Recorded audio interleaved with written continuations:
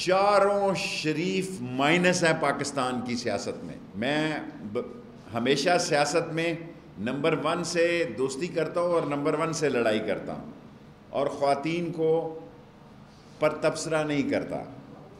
और सारे उलमा का एहतराम करता हूँ और एक जुमला बोल रहा हूँ कि चारों शरीफ जो हैं चारों शरीफ वो माइनस हैं।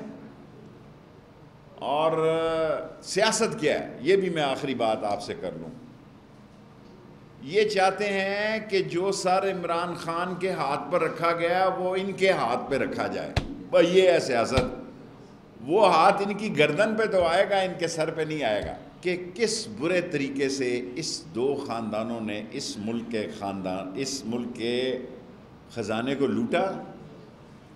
आना चाहते हैं, पहले डेपुटेशन पे ये नहीं जा रहे थे।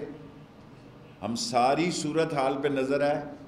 24 घंटे में आना चाहते हैं, आए, नहीं आना चाहते, ना आए।